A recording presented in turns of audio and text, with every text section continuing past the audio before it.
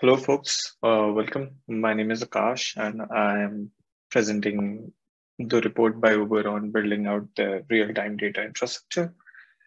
Uh, so Uber is a pretty big business. Everyone knows about them, and their business is pretty uh, real-time in nature. They collect petabytes of data from their end users, and uh, then they need to process it in seconds uh, to make decisions on their business use cases um, concerning customer incentives, fraud detection, etc. So they talk about dynamic surge pricing a lot uh, with respect to this paper.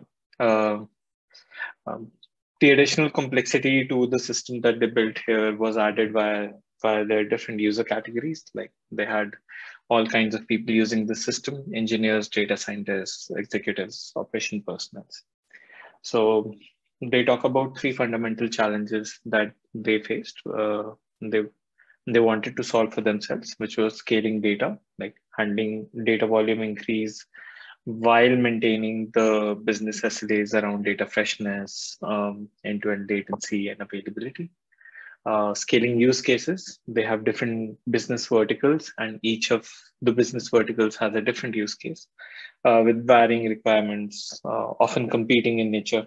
Uh, like dynamic pricing is a is a large workflow and it needs real time data and availability is what it prioritizes.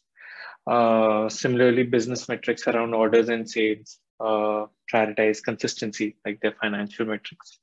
So different systems, different business verticals. Uh, and the third thing is scaling of users. Uh, like I talked about, they have users with diverse backgrounds. They all fall on a big spectrum of technical skills.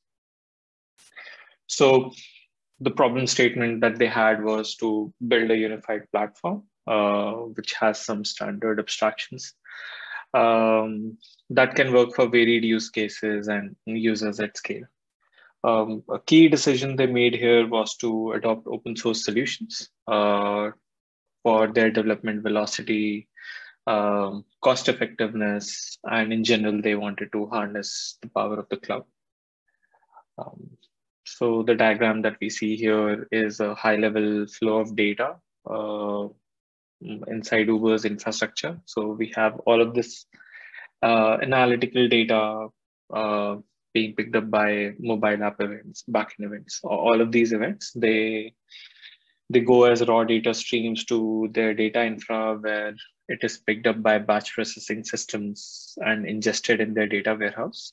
But there's also this real-time data infra component, uh, which is which continuously processes data to power the use cases like dynamic pricing, dashboards, alerts, machine learning stuff, uh, etc.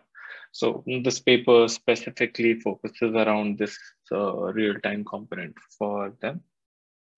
Uh, so when building out the system, they they they derive their requirements from all of their use cases. So like consistency, which was required by their financial dashboards, availability, uh, uh, which was important to dynamic pricing. Um, dynamic pricing also has uh, requires data freshness at seconds level. Um, uh, security incidents require data freshness at uh, seconds level. Query latency uh, spans from a few milliseconds to maybe a minute for uh, dashboards in their Uber Eats system. Um, the system also has to, all right. Hello. Is everyone able to see my screen? Yep. Yeah. Okay. Um, let me start again. I'm so sorry. Something happened in my system.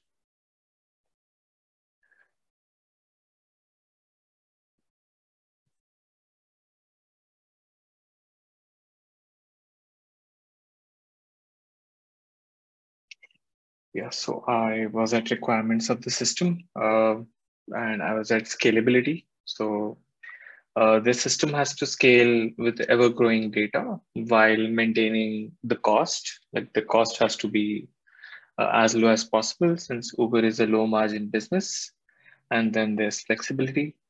as well. So I just thought about the CAP theorem when going through all of these requirements of the system. I think they have a section to talk about it as well. Uh, this is the high level diagram of the uh, analytics system, and these are all the components. Uh, the storage layer provides an interface for layers all over it, and uh, it has read after write consistency guarantee. It is optimized for high write rate. Similarly, there's streams, uh, there's compute, there's OLAP for analytical queries, SQL for users, and, and a programmable API. And all, all of the system powers these use cases, the dashboards, uh, machine learning systems, etc. Um, in terms of how what they use for each of these systems, uh, not surprisingly, they, they use Kafka for their streaming storage.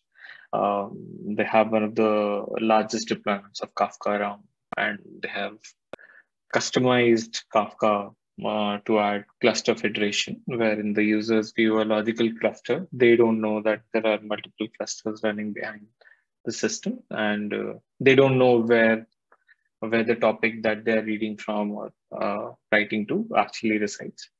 They built a dead letter queue as well and a consumer proxy and cross-cluster replication tool.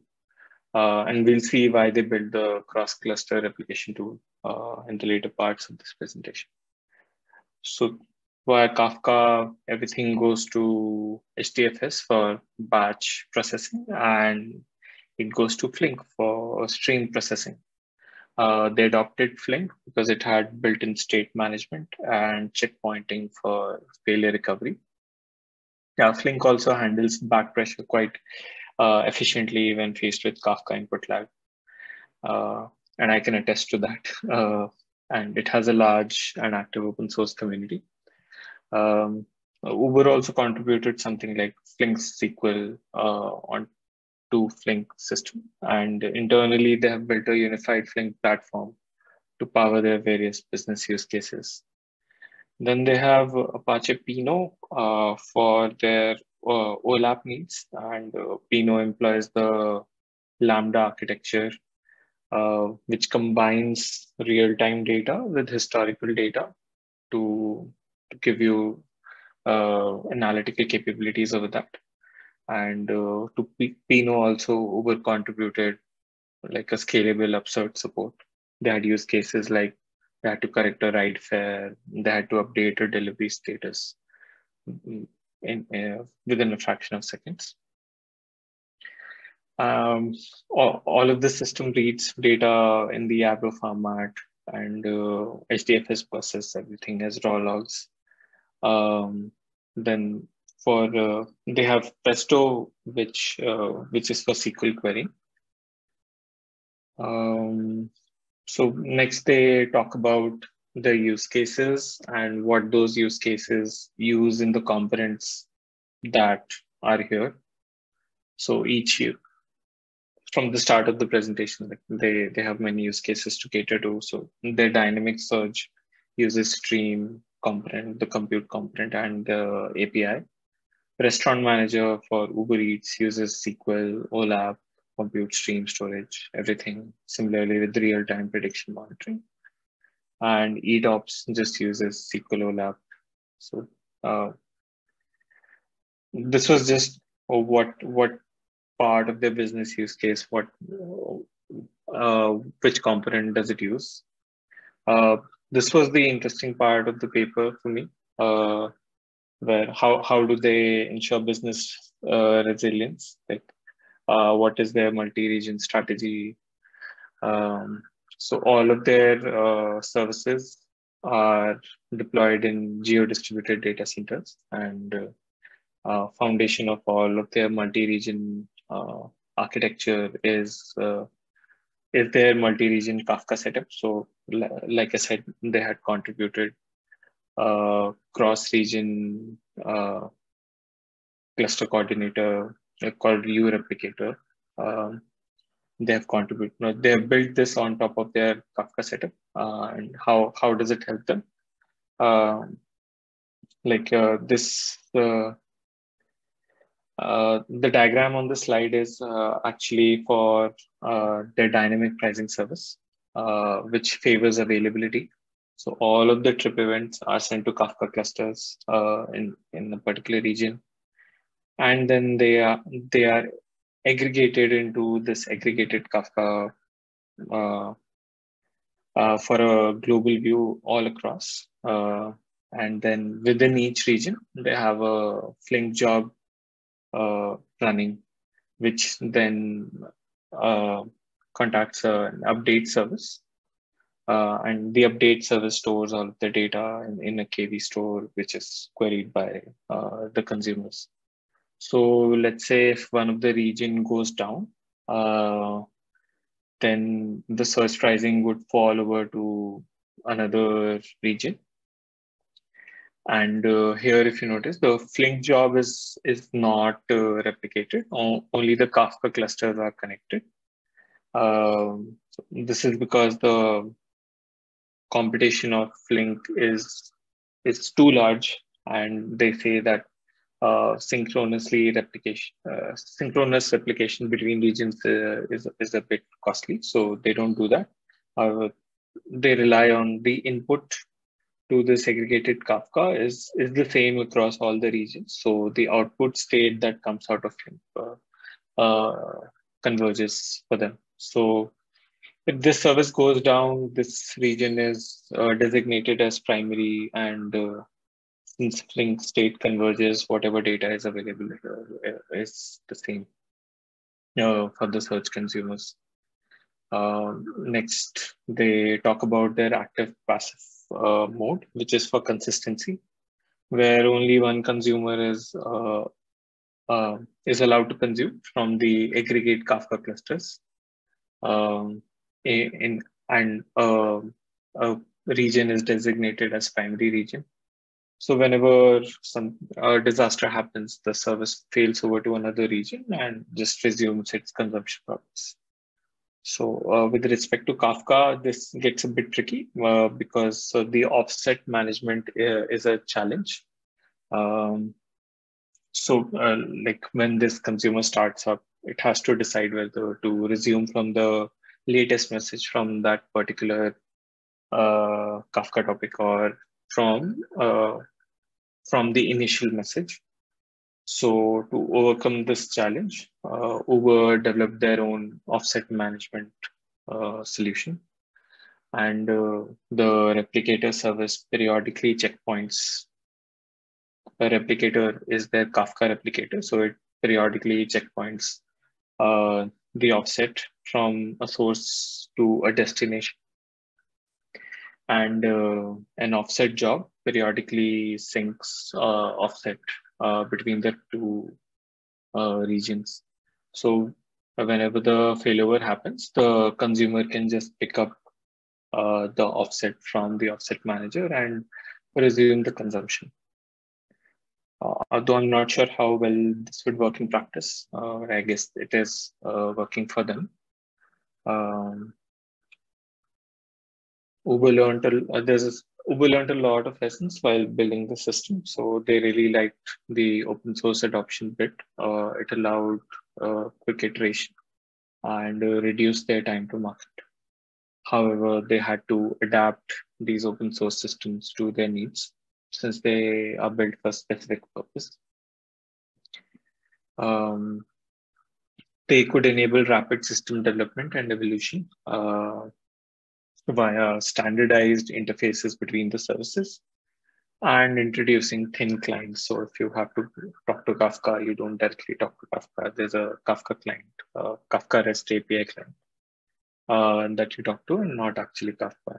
And they consolidated languages across their teams. So they have Java and Golang and they have Presto SQL for the SQL needs.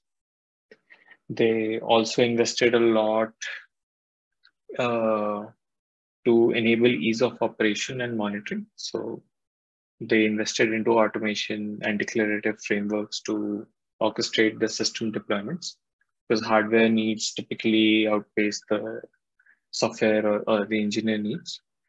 And for each of those deployments, they had automated dashboards, alerts for each use case pertaining to Kafka. Uh, so whoever is the service owner, if they are using the system, they would have these uh, dashboards and alerts already set up for them. Uh, they also invested a lot into uh, user onboarding and debugging. So they built a self-serve system that automates the entire user onboarding, failure handling, and triaging for users. Uh, I also watched a video where the person who was involved in building this uh, said that Uber had different teams for, uh, like there was a Hive uh, Hive team, there was a Presto team, uh, and a Pinot team was developed. So, which drove all of this. So most of their operations are centered on Pinot, uh, Apache Pinot that we saw here. So this was a four-person team, uh, and uh, everyone else just built connectors on top of Pinot uh, for for the analytical use cases to happen. And I guess that is it. Um, thank you so much.